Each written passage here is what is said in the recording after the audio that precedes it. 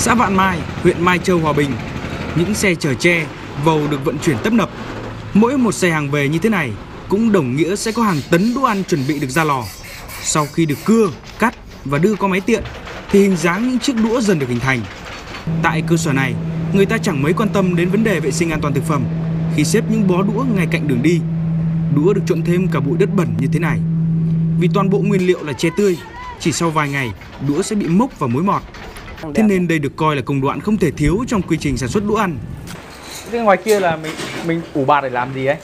À, cái đó là một độ ủ lại để cho nó khỏi Dạ. mưa cho nó khỏi mưa Gọi là chống mưa, nhưng thực chất là che bạt để ủ và sấy lưu huỳnh, một hóa chất độc hại có tác dụng chống mốc và tẩy trắng.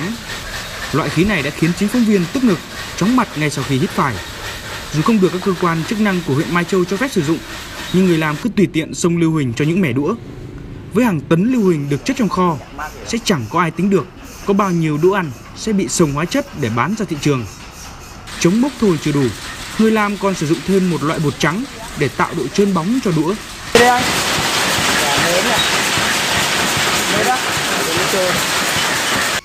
Trên nhãn bao bì, nhà sản xuất ghi rõ hóa chất này chỉ được phép sử dụng trong công nghiệp. Vậy khi người làm giải trực tiếp như thế này lên bề mặt đũa ăn, một dụng cụ tiếp xúc với thực phẩm, thì lấy gì để đảm bảo an toàn cho người tiêu dùng? Phóng viên đã khảo sát 3 cơ sở sản xuất đũa tại xã Vạn Mai, thì tất cả các cơ sở đều sử dụng lưu huỳnh chống mốc và bột trắng làm trơn đũa. Dù vậy, chỉ riêng một cơ sở này, mỗi ngày đã cho ra lò gần 10 tấn đũa ăn thành phẩm. Mỗi tháng có được vài chục tấn không? tháng vài chết Vài trăm. Có tháng cao nhất là cũng 3 400 tấn. Còn sản sản trên 200.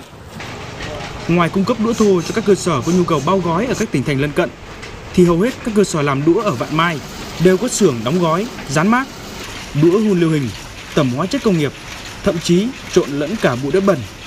Thế nhưng chẳng có bất kỳ một biện pháp làm sạch đũa nào được thực hiện.